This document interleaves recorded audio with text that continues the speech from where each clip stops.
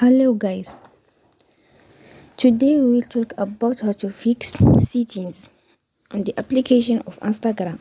You will click on settings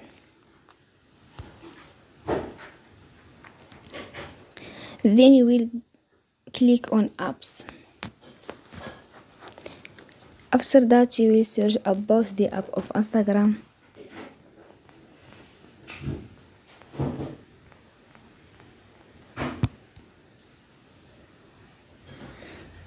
then you will go to force stop. And you will click ok. After that you will enter to storage. Then we click on clear cache. Don't forget to support us. By like and subscribe. See you next time